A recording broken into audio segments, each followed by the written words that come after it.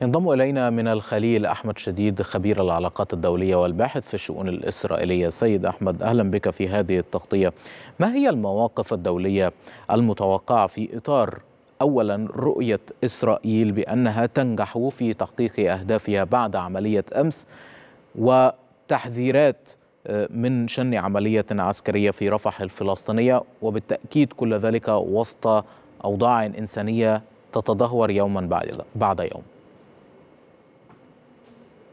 تحياتي لكم. ما أسعد الله صباحكم بكل خير. يعني مساء الأمس كان الفيصل فيما هو قادم هو اتصال الرئيس الأمريكي جو بايدن برئيس الوزراء بنيامين نتنياهو والذي وكما أوضحت كافة وسائل الإعلام في إسرائيل هو لم يطالبه بعدم الإقدام على اجتياح رفح. ولا على توقف العمليات العسكرية، بعض الرتوش بعض الهوامش التي تحدث بها بايدن وبالتالي المتوقع من المواقف الدولية باعتقادي بأننا قد مررنا به وعشناه وشفناه على مدى الأربع شهور الماضية من قتل وتدمير واجتياحات و وإعدامات داخل المشافي وتدمير المشافي والمراكز. يعني عدا عن الشجب باعتقادي إن لم يكن مباركة لن نستطيع لن نسمع شيء من الإدارة الأمريكية ومن موقفها. ولكن التقارير تقول سيد أحمد بأن هذه ال ال ال ال يعني المحادثة الهاتفية استغرقت 45 دقيقة. هل هي يعني مجرد مباركة ودعم في كل هذا التوقيت في كل هذا الوقت أم هناك بالتأكيد بعض الخلافات أو بعض التشاورات دعنا نقول حول على الأقل استراتيجية نتنياهو في التوقيت هذه العملية أو في مسار هذه الحرب أو في مسار المفاوضات أليس كذلك؟ كل بكل تأكيد لا يمكن يعني ان ان ان, أن يمضي رئيس بحجم بايدن رئيس الولايات المتحدة 45 دقيقة من وقته فقط يعني بالمجاملات لابد بأن هناك الكثير من القضايا العديد منها والهامة جدا التي تمت مناقشتها ولكن ما قصدته هو بأنه ما أفصحته وأفصحت عنه وسائل الإعلام الإسرائيلية وقولا واحدا أن الرئيس الأمريكي لم يطلب من نتنياهو ولا من حكومته عدم الدخول في رفح الجزئية المتعلقة في رفح وفق الإعلام الإسرائيلي التي تطرق إليها وتحدث بها الرئيس الأمريكي. هي مسألة الممرات الآمنة من أجل إخراج السكان وإفراغ رفح من من قاطنيها ومن الذين نزحوا إليها. ولكن مرة أخرى الاعتقاد أو كما روج له في بعض المواقع أو بعض الوسائل الإعلام بأن بايدن يضغط على الإدارة على الاحتلال الإسرائيلي كي لا يقدم على رفح هذا غير موجود بالعكس الذي روج في الإعلام الإسرائيلي هو بأن إدارة بايدن وممثل برئيسها بالاتصال يوم أمس لم يطلب من من نتنياهو عدم الذهاب إلى رفح وبالمقابل أوضح له بنيامين نتنياهو بشكل لا يقبل الشك بأن استمرار العمليات العسكرية هي الضامن الوحيد لأمن إسرائيل والسيطرة على كل قطاع غزة. وهنا نستخدم كل كافة أرجاء القطاع هي الضامن لعدم العودة وعيش تجربة السابع من أكتوبر الماضي. وبالتالي العملية العسكرية وفق المخطط له اسرائيليا لا يوجد ما يردعها لغاية الآن من قبل الإدارة الأمريكية. لا يوجد الآن موقف أمريكي واضح. هناك نعم بعض الخلافات في بعض التفاصيل وبعض الأجزاء التي من شأنها طبعا أن توتر العلاقة بين الطرفين خاصة في الجانب الإعلامي. ولكن باعتقادي بأنه ما زالت إسرائيل تشكل الولايات المتحدة الأمريكية قاعدة عسكرية متقدمة. قد تخطئ إسرائيل في نظر الولايات المتحدة هنا وهناك في تفصيليه في تفصيلة هنا وهناك. يعني ولكن التقارير التي تشير بأن هناك رؤية أمريكية بأن نتنياهو لم يعد الشريك يعني المتوقع منه العمل مع الإدارة الأمريكية أو بأن بايدن يريد تغيير حكومة نتنياهو أو بأن هناك رؤية لمستقبل ليس لنتنياهو وجود فيه في الوقت الحالي كل هذه هي يعني ليست بالتقارير الصحيحة أو لا تشير إلى الوضع الحقيقي ما بين نتنياهو وما بين بايدن أو ما بين الإدارة الأمريكية والإسرائيلية؟ موجة التصريحات العالية ذات الوتيرة العالية التي شهدناها من الإدارة الأمريكية في أيام الثلاثاء ولغاية الجمعة الماضيين نستطيع القول أنها خفتت. أما فيما يتعلق بتغيير إدارة الإدارة الإسرائيلية والحكومة الإسرائيلية حقيقة أنا لم أسمع بأن الإدارة الأمريكية طالبت بتغيير قيادة نتنياهو. هي تحدثت بتفصيلة يعني مهمة طبعا هي وأن نتنياهو لم يعد الشريك الذي ممكن أن نثق به وأن نذهب معه بعيدا. ولكن ما هي تفسيرات أن نذهب معه بعيدا؟ هل حرب إقليمية شاملة؟ نتنياهو لم يعد يصلح لها. هل تسوية سياسية في المنطقة شاملة؟ نتنياهو غير مهيأ وغير مؤهل وغير جاهز لها. بعض التفاصيل التي تحدثت بها وسائل الإعلام الإسرائيلية نقلا طبعا عن الإعلام الأمريكي تفيد بالتالي بانه التفاصيل المتعلقة بالعمليات العسكرية في قطاع غزة متفق عليها باستثناء جزئية ارتفاع عدد الضحايا الفلسطينيين وهذه كان واضحا بها بلينكين وكذلك الرئيس الأمريكي منذ أسابيع حينما طالبوا بنيامين نتنياهو بعدم بالعمل على أن لا تخرج صور من قطاع غزة كتلك الصور التي خرجت بال مجزرة مستشفى المعمداني في مدينة غزة. وبالتالي مرة أخرى بالتفاصيل الإسرائيلي والأمريكي متفقون بشكل كامل على ما يحدث في قطاع غزة. مسألة ارتفاع أو انخفاض عدد الضحايا هذه جزئية بتأتي في سياق أن تحاول الولايات المتحدة الأمريكية إبقاء مكانتها الوسيط ما بين الأطراف في منطقة الشرق الأوسط.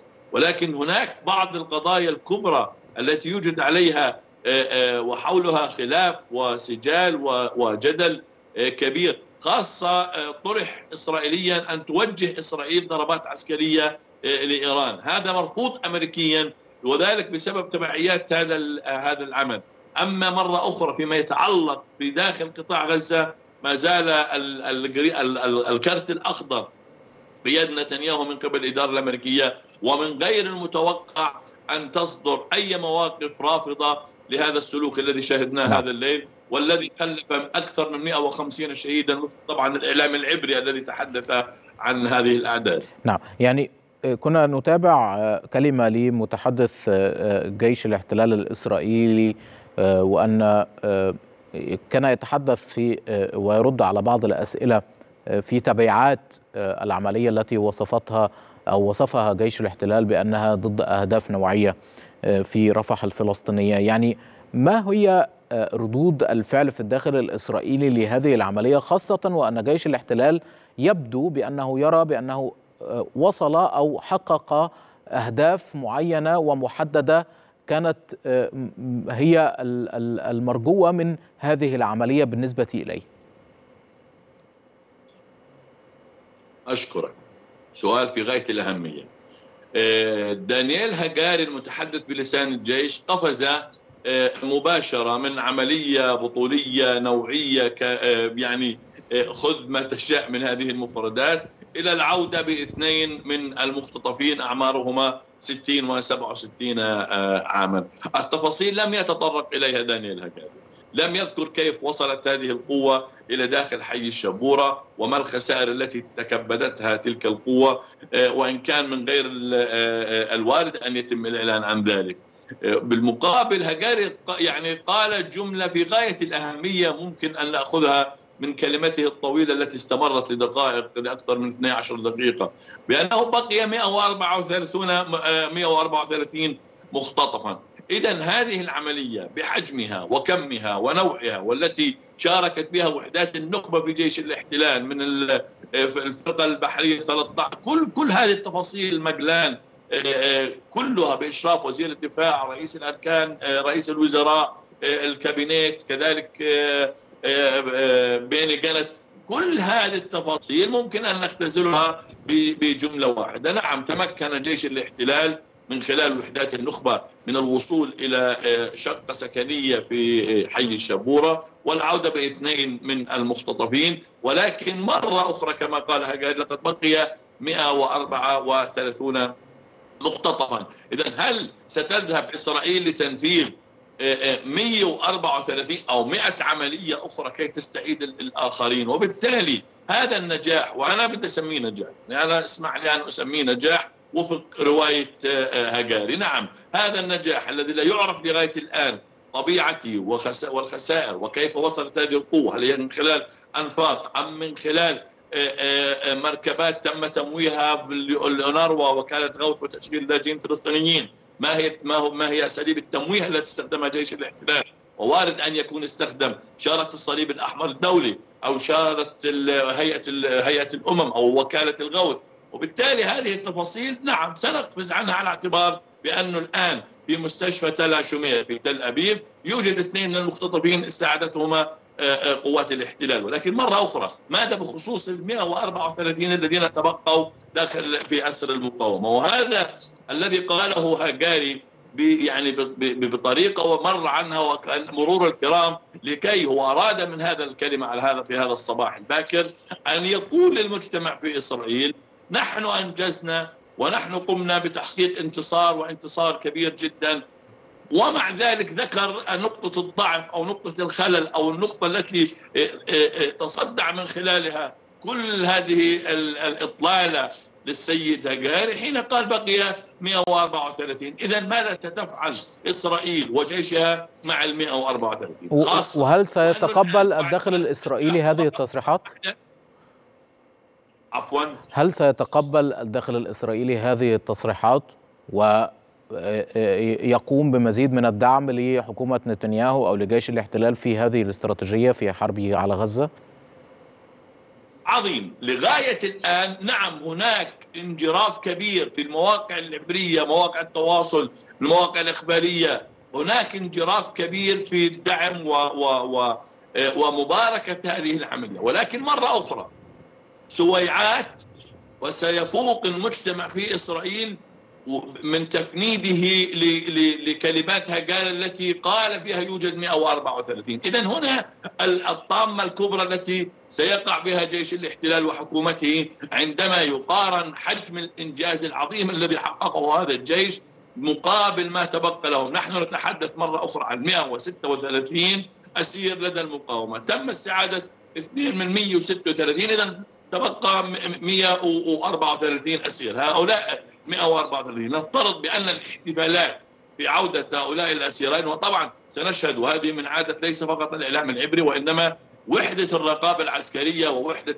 الإشاعة في الاستخبارات العسكرية التي ستسمح لوكالات الأنباء أن تستفيض في الشرح عن عن بطولات تلك العملية وعن تاريخ الذين تم استعادتهم وعن معاناتهم لكي يقنع المواطن في إسرائيل بأن هناك إنجاز كبير تم تحقيقه. ولكن هذا الإنجاز وباعتقادي لن يدوم طويلا لن يدوم أكثر من من سويعات على أقصى تعديل لمساء هذا اليوم. مساء بتوقع يعني أنا أتوقع مساء سيقوم نتنياهو بتقديم مسرحية كبيرة عرض بطولي للحدث الذي جرى هذه الليلة. ولكن أقل من يوم ستمضي هذه الهالة هذا الحدث الكبير. نعم. ويعود المجتمع في إسرائيل للتفكير بال 134 اسيرا الذين ما زالت تحتجزهم المقاومة. على المستوى الدولي وعلى المستوى السياسي يعني كيف ستؤثر هذه العملية على أي مسار للمفاوضات في الوقت الراهن؟ ستكسب نتنياهو يعني بالمدى القصير بعض الدعم من بعض الدول التي يعني هي بالأساس متحمسة لبنيامين نتنياهو وشاهدنا كيف أن الرئيس الأرجنتيني يعني ذرف الدموع في حاله المبكى وأعلن بأنه سيتهود سيعتنق اليهوديه وأنه يطالب بالمسجد الأقصى بهدم المسجد الأقصى وبناء الهيكل الثالث وما إلى ذلك من تفاصيل. اذا هناك نعم ولكن هو معروف عنه موقفي أو معروف عنه الموقف المتطرف بعض الشيء يعني الرئيس الأرجنتيني الجديد يعني.